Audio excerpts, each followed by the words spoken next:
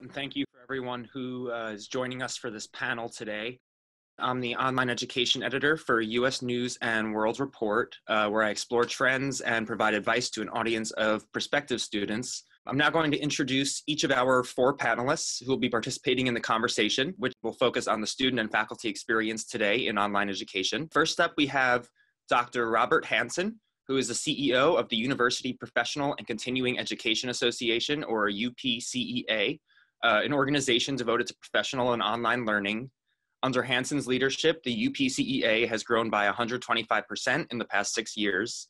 Uh, Hansen was previously an associate provost for university outreach at the University of Southern Maine, a regional public university. Uh, we also have uh, Maria Jump, who is the assistant vice president of student services at CSU Global Campus, uh, where she focuses on improving the online student experience uh, she has worked in higher education for about a decade, uh, primarily supporting the needs of non-traditional learners.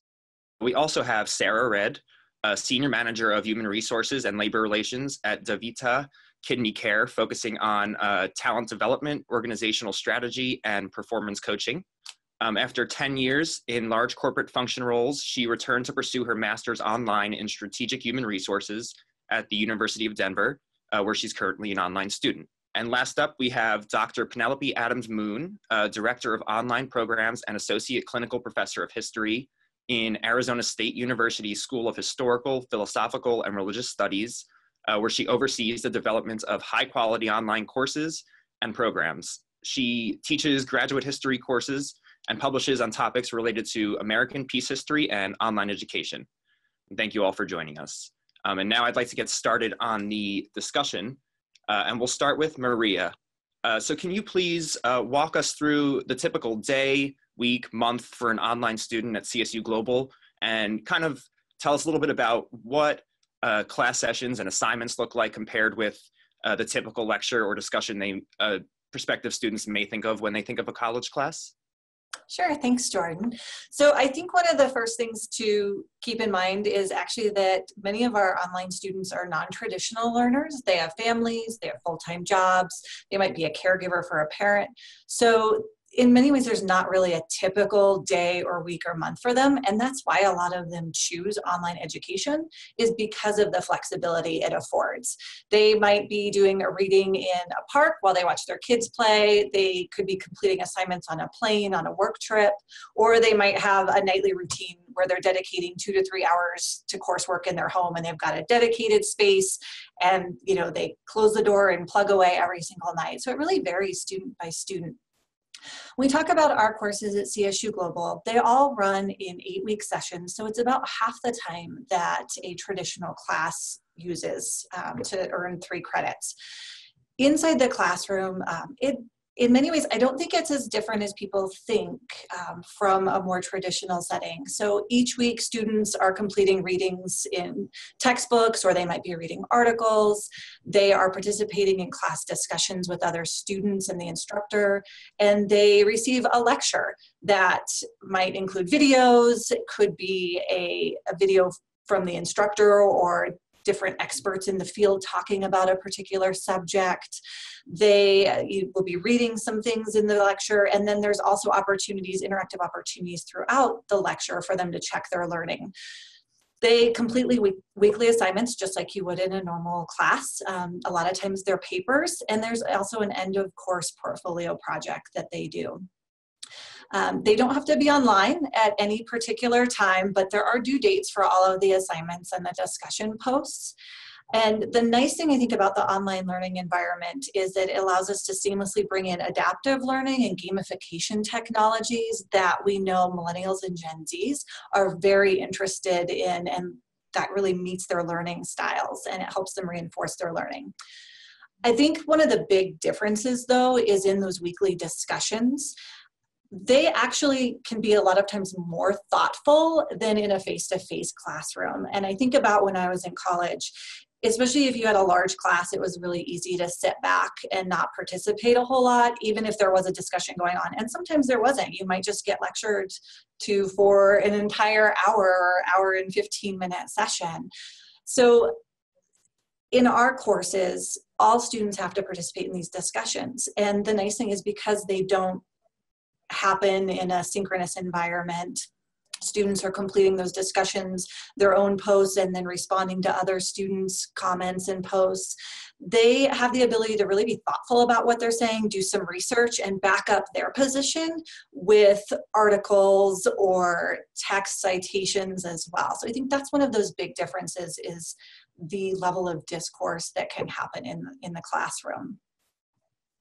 Great, thank you, Maria. And uh, I wanted to move over to Sarah, our online student. Uh, so you earned a degree online. Can you tell us a little bit about uh, what you liked best about the experience? And at the same time, uh, what was your least favorite aspect of the online uh, learning experience for you? I would say my my favorite part is what Maria just brought up, um, talking through the discussion posts. And what's different than the actual in class learning situation is that I'm able to post on Sunday, think about it for a couple of days, respond back to my classmates over the course of the week. And it keeps me thinking about that subject to- topic throughout the week, which is great. Um, in a normal classroom, you would think about it as the discussion is going on, and then when you leave the when you leave the classroom, it's usually the last time you think about it. And so I really like the thought process that happens um, throughout the course of the week, um, really just ingraining the subject matter in your brain. Um, I also like the flexibility. The reason I went back to school online is because I have 90% travel in my full-time job. I can be on the East Coast, I can be on the West Coast um, at any time during one week. And online learning has allowed me to go back to school and make it work for myself and still keep my goals and um, pursuing the um, educational goals that I have. Um, what I don't like about it, I do miss some of the social aspect um, that you would have in in class, but I also think I've created very strong bonds with my classmates through those discussion posts, through um, our Skype sessions and um, off-site discussions that we still have. I'm also able to um, communicate with my my professor. I think more, um, but I like that my professors are usually very available for email. They're available through text. They're available through phone calls. And so, while I do miss some of the social aspect, a lot of other things are still there to keep me connected and keep me um, ingrained in a community online. Great, thank you, Sarah. And uh, Penelope, you're a strong ad advocate of faculty adapting to online education. So what has been your experience as an online professor and why do you suggest that others give it a try? I just wanted to say that um, I loved hearing from the students and uh, a lot of what they said uh, syncs up with what my students have told me. So you're representative in many ways and congratulations on working through an online program. It's a haul. Um, I taught my first online course in 2011. Uh, I was uh, uh, kind of trained and cut my professional teeth at a small liberal arts college where I didn't have to think about online. And if I did think about online, it was in a pretty uh, pejorative way or derogatory way. But you know, the, the research was compelling. Uh, and I was also drawn to the socially transformative aspect uh, of online education. And so uh, when I was recruited here to build um, the online history master's degree program, I did so with a lot of enthusiasm. Uh, and I was really kind of astounded at the ways that uh, teaching online changed my practice. I had been teaching more than a decade uh, before I taught online. I taught face-to-face -face classes. And um, teaching online really made me much more conscientious about thinking about learning outcomes and the structure of the courses that I taught. Um, I, I, think about my, my courses much more holistically than I did when I taught face-to-face. Uh, and that's because uh, you must do a lot of the building before the course launches. So you have to kind of think about the course as a whole unit. Um, I was also challenged by the ways that online teaching um, made me much more careful in my communication. Um, the, the, the ways that students obtain information in an online class, primarily through text. Um, so you have to really think carefully about, about presenting students with enough information that they understand the context of things, not just the steps. Um, so I'm much more careful about communicating my ideas uh, in an online environment. Um, and I'm much more conscious of the challenges that my students face. Uh, I thought Maria's comment about how uh, most students online are non-traditional. There is not a type of online student. Uh, and and that, that's true um, both demographically and in terms of the, the kind of challenges that, that online students face. Many have families, the vast majority of our students work full time. Um, uh, many are in the military, um, so they're just, they've got a lot of plates spinning and I'm much more attuned to that in the online environment. I think uh, uh, I'm also drawn to the, the creative and communal dimensions of the, the process of teaching online. Um, when I taught face-to-face -face and developed face-to-face -face classes, it was pretty much an experience or process that I directed uh, and that I did by myself. I feel much more part of the team when I teach online. I work with instructional designers, platform partners, with students to get feedback about what's working and so on and so forth. And I really appreciate that. Um, I, I think that uh, I, I, I push faculty to engage online despite a lot of reticence on their part because I do think it's a social imperative. Um, online brings more and different people uh, into higher education and, and puts within their reach credentials that are allow, going to allow them to move into leadership positions in places where decisions are made.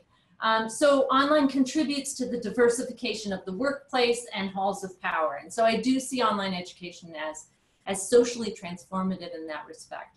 So I, I, make sure I talk to faculty about that, about my agenda and about that dimension of online learning. I also encourage faculty to teach online because I think it makes them better teachers. Um, it prompts more reflective teaching. Um, you're asking questions about habits and practices that you've kind of taken for granted and just inherited from your own graduate uh, training. Uh, and I think that's beneficial both to the student and, and to the professor in terms of their personal growth. Um, and I also tell, tell professors that they should participate for two other reasons. One, the students are great. They're incredibly earnest. Uh, the vast majority of our faculty who finally get around to teaching online usually end up at my door and say, wow, I had no idea the students were so great online. Uh, and that's true. Um, and, and finally, they need to get involved because this train is not stopping. Uh, and faculty need to be involved in the governance structures related to defining and evolving online education. So, I, so those are the those are my pitches to faculty. Great, thank you.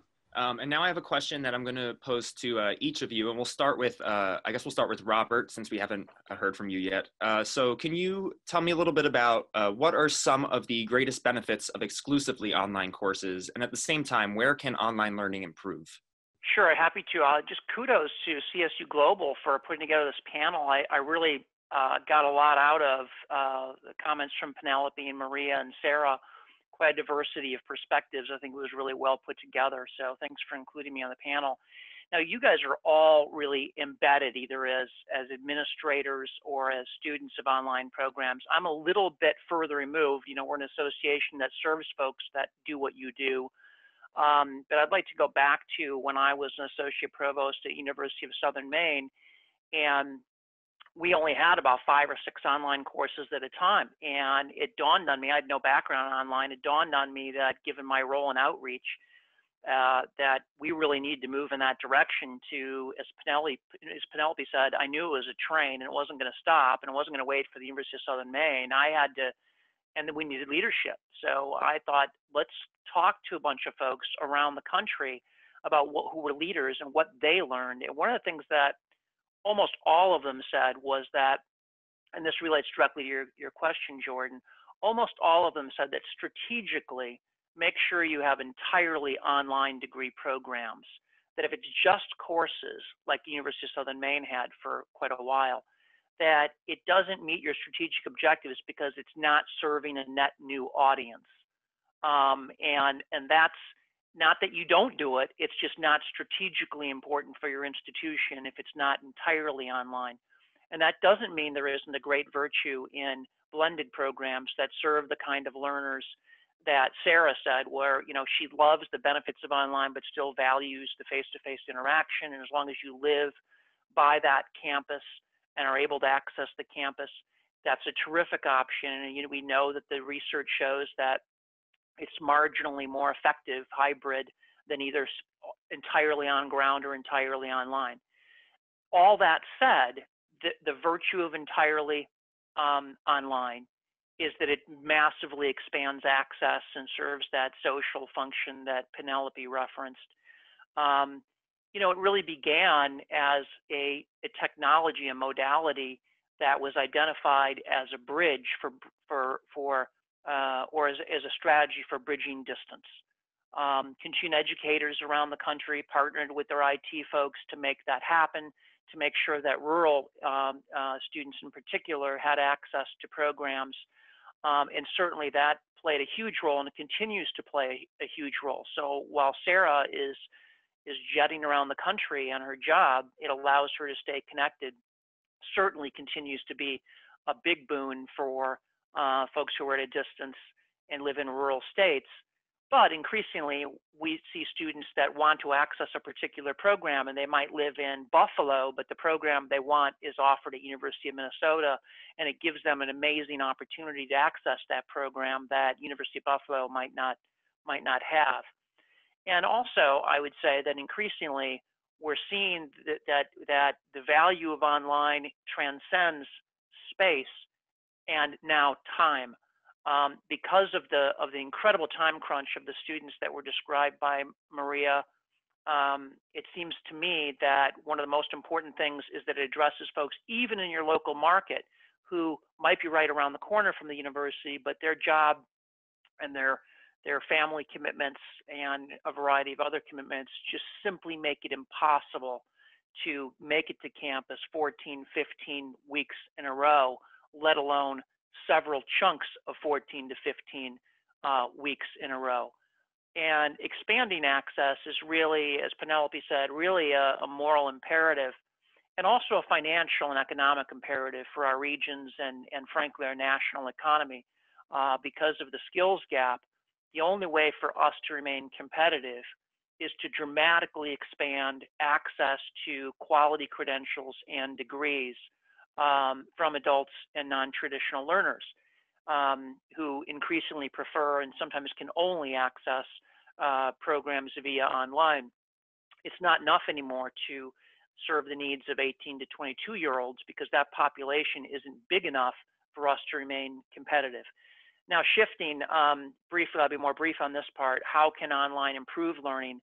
I think that uh, I'll just build on what some of the others has, have said um, that paradoxically, online allows for more student teacher student interaction and more student student interaction.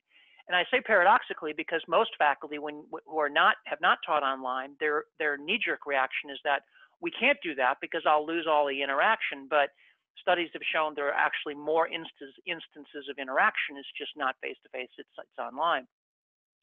And second, um, I have a wife who who is is is um, on the more introverted side, and she told me about a book called Shy, I think it's called, and and you know in this country we really privilege the folks who step up in class in in class and dominate the discussion, and online is perfect for introverted individuals who don't feel as comfortable speaking up and or who just have take need to take more time to process uh, before they contribute. And online is perfect for that audience. And that audience is not a minority; it's a it's a substantial percentage of our population. So those are just two things I'd say. I would reserve further comments for later. Great, thank you, Robert. And uh, I'm going to pass the question over to uh, Maria. I, I think Robert covered a lot of it. I would echo some of what we've talked about already, which is the flexibility piece. That's a huge thing for online learners is that they don't have to be in a classroom at a certain time on a certain day. And also, as Penelope talked about, that diversity within the student base, because you get people from all different industries, different parts of the country. You really have a broad base of, um, of demographics and beliefs. And I think the other thing too is that many of these students have really chosen to be here because they may have tried you know, when they were 18, 19 years old, they may have tried a traditional campus setting and it didn't work out for them for one reason or another. And a lot of them then went off and started their careers, started their families, and now they are coming back and they really want to be here, which again, I think creates a much stronger learning environment because you have that level of engagement among most of your students and when they're connecting with each other in those discussion posts um, i think that there's just much more of a depth there. Plus the knowledge that they bring having been in the workforce um, really deepens and enriches that experience. As for what we can do differently i think that we are seeing that the profile of an online learner is changing a little bit because more and more students are moving to online as it is gaining kind of credibility and reputation and as more and more institutions offer really robust programs so I think we need to look at how we change with those learners. And one of those things is something that Sarah brought up, which is how do we connect students? How do we have student, how do we get that interaction outside of the classroom for our students? Because we are seeing more and more learners who don't just want to be here just to get in, turn in their assignments and get out, but they're looking for not a traditional college environment, but they are looking for much more than just being a solo um, student in there taking care of their coursework. So I think that's one of the areas we can do better is really enriching the experience outside of the classroom. Great, thank you. And uh, Penelope, was there anything that you uh, wanted to add? Yeah, I would just um, second the integrating, finding ways in terms of improving online, finding ways to fully integrate online learners into the social and intellectual fabric of the university. Universities are incredibly dynamic uh, uh, ecosystems. And, and I think we, we make our best effort to integrate online students in, into that dynamism, but I think more can be done. Um, I've mentioned what I think are the benefits of online learning. From a teaching perspective, I think it makes you a, a better teacher going through that process. Um, and I've also mentioned the social transformative bit. In terms of improving it, uh, also I'd say you know, um, I might be in the minority here, but we have, I think we, we need to do a, we need to make a more concerted effort to not just make online about scaling. Um, so many of the discussions I have about online are about how it allows you to do more with the same amount of resources and to scale up. That's not necessarily true for all disciplines. Um, and if we drive online with the question of scaling, we're going to chip away at the integrity of the liberal arts tradition. And I worry about that. Um, I think that uh, we need to do a better job of putting the dignity of students and uh, instructors at the center of what we do online. Great. And uh, Sarah, did you have any uh, final thoughts on the benefits and drawbacks of exclusively online courses uh, from the, the student perspective? The flexibility, I mean, that's the reason that I chose online was to be able to maintain my work environment and still go back to school.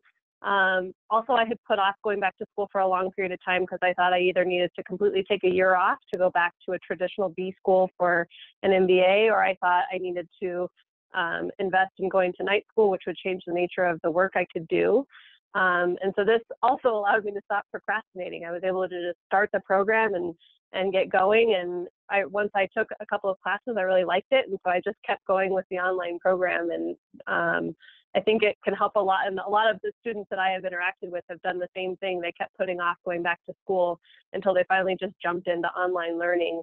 Um, and it allows you to meet your goals that you set for yourself um, thinking about improvements, and this is really going to be about people who are going back to school for grad school. But um, I mean, I was in the workforce for 10 years before I went back to grad school. And so, whatever resources that online uh, universities can provide to, to, to students as they re enter that educational atmosphere, and how do I write a paper again? How do I do research? All of those things are um, you're, you're teaching yourself again or um, learning how to do them better. And the resources that an online university could help provide would make that transition um, easier. And I think it would have made my transition easier. I think I had a rocky start for my first couple of classes, just getting back into writing research papers and um, learning how to cite my sources and do all that again. Um, and so, where that could have been a smoother transition, I think would have made it a better experience for me. Okay, and now I'm going to uh, shift the conversation back to Robert. Um, so UPCEA does a lot of research into best practices in online education. And so can you uh, summarize some of the top points? Oh, Robert, I think you're still on mute. Yep, thank you. Why don't I focus on a quality framework that we have developed? Uh, it was written by a team of expert practitioners and leaders in online. Um, but first, let me situate that within the larger continuum of quality frameworks. And I think quality frameworks is really important. Penelope talked about uh, the risks associated with focusing too much on scaling online. And I think the business side of online is complicated and interesting and has all sorts of potential. But she's right to worry about quality, particularly at this time and place, because if we are interested in expanding access through the use of online and scaling up when appropriate, um, for all the reasons I mentioned last time, we have to do it with quality in mind. And the great news is that various bodies have really stepped up and addressed the quality of the, the concept of quality uh, along the continuum. Most people on this webinar are prob or this virtual conference are probably aware of Quality Matters, which was really first um, in the ball game with their course level quality uh, rubrics. And they've done an amazing job. And whether you use the QM uh, rubrics or you use your own homegrown version, uh, that's clearly swept the nation. And it's been very, very, very helpful in transforming the cultures of our various campuses um, and putting quality concerns sort of to bed or at least um, nap time. Uh, since then, Quality Matters and also Online Learning Consortium have developed uh, program quality standards, which has been really helpful because the next step, of course, after course level is program level. Um, UPCEA looked at that and had no interest in, in, in delving into that. Our, our sweet spot is not academic affairs. It's not actually the teaching and learning in an online environment. It's a lot more about leadership, strategy, entrepreneurialism, um, is in, in essence the administration of online learning. Um, so we wanted to talk about that level of, of uh, quality.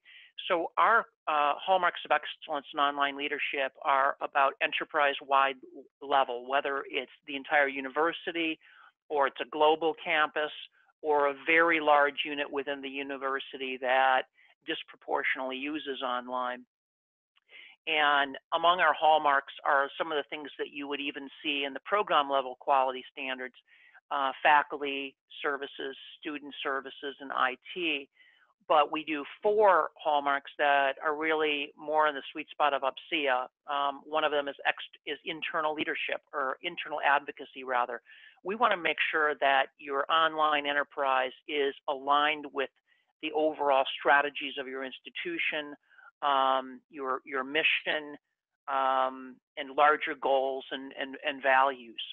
Um, I think we have a bit of a bias towards a centralized online uh, unit. It doesn't have to be centralized in terms of academics, but in terms of the administrative support structure, uh, uh, you know, faculty and student services, uh, instructional designers, and marketing budgets. It just doesn't make sense to us to have this be an archipelago of resources that are stretched too thin and often competing with one another. We think there's virtues in in um, in merging and leveraging the efficiency of scale. Uh, so we're a big fan of that. But we also talk about the entrepreneurial enterprise. We talk about external advocacy, and we talk about professionalism. And uh, professionalism is really the, the bookend of, of excellence, right? It's the book, bookmark of quality this is the time we need to professionalize the profession. Some will argue that online is just another learning modality. I hear that a lot from some of our own members. I don't think it is just another learning modality. Surely it is that, but it is also a profession. It's an emerging profession that is enormously complicated, is not going away. And as we move towards more and more sophisticated production teams, um, it is more and more going to look like a profession, and a profession needs standards. Uh, so that's what we've been focused on at UPCEA, and I, I, really think that overall the organizations in the space have done a really good job of meeting the challenges that um, that really need to be met, frankly, for online to get to the next level and be accepted as um, just as as as as a um, as vital and just as professional as the folks in engineering or business school would be. Great. Thank you, Robert. Some interesting insights there. Um, I just wanted to shift back to uh, Maria. So, how does uh, CSU Global work to acclimate students to online learning so that they feel comfortable and ready to succeed, if, especially if they've never taken uh, online courses before? We have a coordinated effort across CSU Global to help students. Um, so our goal is really to provide as much or as little support as they need. I think that's really important is that you have to meet students where they're at and you have to provide that personalized level of service. So I'll talk briefly about the ways our teams help to acclimate students, but we also provide students with a variety of self-service options, including a self-led orientation and a demonstration course they can go and play around in, a searchable knowledge base, we do just-in-time communications to make sure that students know how to navigate through the university at the time that they need. So we do all of those pieces for students who maybe don't want a really in-depth experience. It starts in enrollment. Our enrollment counselors do a really great job of building relationships with our students before they start class. They can have a lot of one-on-one time with their enrollment counselor to ask questions enrollment counselors really work to help students understand what they're getting into because it is different from a traditional you know opportunity for learning. And it is also something that maybe people haven't been in to Sarah's point for five or ten years so they also can they do provide what's called a walk to class where they really get in and together they go through the course room with the students and go through some of the resources available including our writing center which helps students transition into that apa format and that research-based writing uh, before our students start class, they work with our tuition planning team that help they ensure all of their finance documents are taken care of. And I think that's important because the reality is if students don't feel secure with the financial side of their education, it's going to impact them in the classroom and distract them. So we want to ensure that the path is clear for them to focus on what's really important in those first few weeks, which is getting comfortable with the online format, the pace of the courses, and feeling confident that they can be successful. Most of our undergraduate students actually start in a specific course that has additional resources and has additional instructor support so that they can kind of ease them in and the instructors understand that these students may be just getting into the online learning platform for the first time. And so they're used to working with the same sort of student and understand the challenges they face. And then finally they have a student advisor assigned to them. Uh, we do a one-stop model of advising here where that advisor can help them with almost anything they need. And the advisor reaches out right after they start classes to get a first appointment scheduled. And that's really critical so that students start establishing establishing a relationship with their advisor and they know that there's someone to turn to if they ever have questions or concerns. Great. And just going back to the uh, the student perspective, Sarah. Um, so, how connected did you feel to faculty since you never actually met face to face? And were your conversations all group discussions, or did you have any one-on-one conversations? Can you tell us a little bit about uh, your interaction with uh, faculty? Yeah, I think it varies by faculty member and by the course content. So there were there were definitely some some courses where I needed to focus a bit more on um, just group uh, discussions with my peers. But when I needed to reach my my professors, I almost always heard back from them in 24 hours. I would send either individual emails. Um, I had their uh, cell phone numbers if I needed to text them, or I could call them. Uh, almost all all of them did office hours. I, I didn't ever utilize office hours because normally my my questions would come up and I would need an answer before office hours would happen, and that's where email was really helpful. Um, I, so I never really noticed a difference between um, in classroom that I did for my undergrad versus graduate. Um, and I think that that's part of what you're signing up for as a faculty is that you need to be accessible and um, you have you're dealing with people in different time zones and different work schedules. And so I think uh, my professors have done a great job of just being readily available and responsive to email, text messages, phone calls. Great, thank you, Sarah. Um, and just to wrap up our uh, Q&A portion of the panel discussion, uh, I have a question for all four of you. Uh, so how is online education evolving to meet student needs and what might look different in five or 10 years? And I guess we'll start with uh, Penelope. I actually don't know because uh, the pace of change is, is so quick.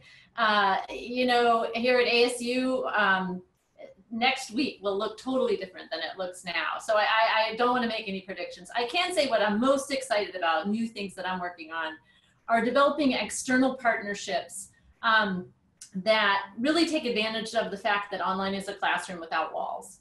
Um, so we're, we're exploring partnerships with um, museums and other cultural memory organizations and co-developing curriculum uh, and curricula with, with people outside of higher education.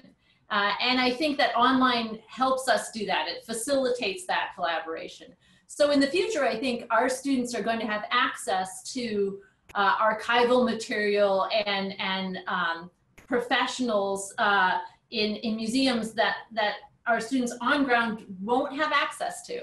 Um, so I'm pretty excited about the ways that, uh, that what we're doing kind of really look to leverage the fact that we don't have to deal with walls. And Robert, did you want to chime in with uh, your thoughts? I'll just mention a couple of things. The enormous potential of data analytics, which I bet you is going to soar in the coming years. And the, the virtue of data anal analytics is really twofold. I think it identifies problematic aspects of a course or a module or a program, and that can really be helpful in um, uh, making changes. And then on the flip side of that, adaptive learning, you know, for the individual students so that the success rates and the and the retention rates are improved. I think the latter is going to become extremely important as we continue this increased focus on learning outcomes that is in part leading towards competency-based education. The second thing I would say is that we're going to move more and more towards very rich multimedia environments that are going to look more and more like a Hollywood studio than what it used to be when you just recorded a professor and called it a day.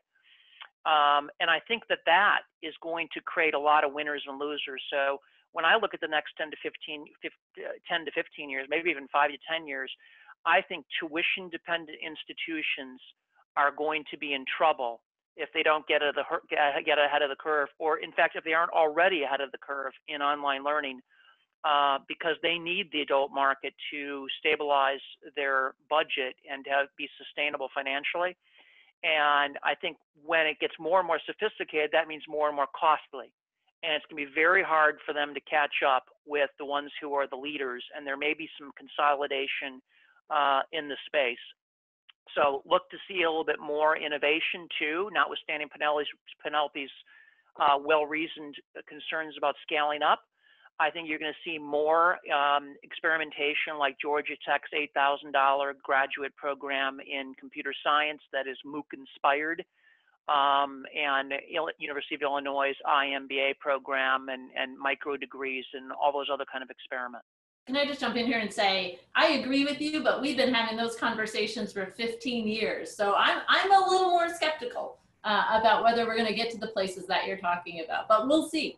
Okay, great. So I'm going to pass it back over to uh, Scott for the uh, Q&A portion. Thank you, Jordan. Uh, we have several questions on the queue. The first one is, how can discussion boards evolve to become more collaborative?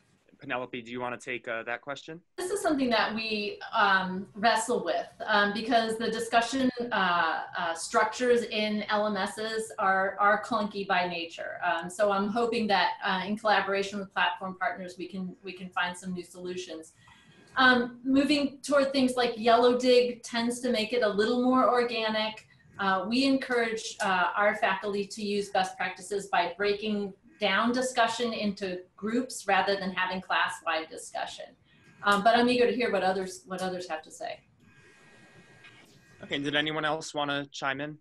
I think something that has been helpful through my experience is when we have incorporated video chat into discussion boards. Um, and that would come from what Penelope is talking about, those smaller group chats. Um, it does kind of get a bit daunting for the introverts that don't love the um, live discussion, but I do think it makes it adds that interactive nature to it. And, and staying on the discussion board theme, um, is there a way to for a more effective mechanism for teaching and learning math and science class, math and science classes using discussion boards? Robert or Maria, do either of you want to uh, share your thoughts on that one? You know, I'll be honest, I'm not a curriculum expert, so it's that's not one that I feel like I, I have a really good answer to, but I think it's an excellent point that we need to look at all of our courses and determine what is the right interactivity within there. If it's not a discussion board that gets that collaborative nature going, how do you do that in a math or a science course? Um, and I think it's it's a very valid question to be asking, and we have to ensure that we don't have a cookie cutter sort of mentality with our courses so that we can you know so that we are open to other ways of collaboration and learning. This is not my discipline far outside my discipline but learning theory tells us that to the extent that we can connect the problems that students are working on with their own lives um, learning happens or learning there's a greater potential for learning to happen. So i could see in math and science using the discussion threads to ask students to explore how the theories that they're, they're exploring um, connect to their own lives. Uh, so that's a, at least one way you can incorporate discussion into math and science. The next question is, what do you consider to be the optimal class, optimal class size for fully realizing online learning outcomes for students? Research shows between 25 and 40. Um, but I think it just depends on the nature of the class. I think there are some classes that scale beautifully. Uh, and there are other classes such as research seminars at the graduate level that, that don't scale well uh, and that we will just need to keep small if the students are going to walk away with the skills that you need to be a researcher in certain fields. Sarah, did you have any thoughts uh, from the student perspective on class size? Anytime I've had less than 15 people in a class, it's not enough to get a good discussion going. So um, I would definitely say the average of 20, at least the, at the graduate level, gets enough thought, thought juices going and enough discussion happening to make it optimal for all of the people taking the class. How are you using predictive analytics to better understand student success, retention, and persistence related to online learning? I will say that this is an area that we are really just getting into. I think predictive analytics is um, something that a lot of schools are looking at. Um, we have we are a very data driven school and so we have always been looking we've always looked at our courses and the success rates there, our learning outcomes, our retention, trying to tie those pieces together. And we are moving much more towards the predictive analytics. I think that we also have to be careful, though, of always balancing data with. Um, the right word um, being bal- taking a balanced approach with data because you can lose sight of the fact that there are actual people involved when you focus only on the data and people are their own variable as we all know. Um, and i think that that is is just a cautionary piece of it that we all need to be using more predictive analytics to understand what makes people successful but to also not solely rely on them as our methods for creating courses and programs and services for students. Uh, the next question is how should future administrators foster staff collaboration and development online within their school structures? So um, this is something that we talk about at an institutional level, how to incentivize faculty to um, collaborate and to be part of online um, course development. Uh, and it's, it's tricky. I mean, I think in the past, uh, and, and actually now we use financial incentives to get faculty involved uh, and collaborating in online curricula.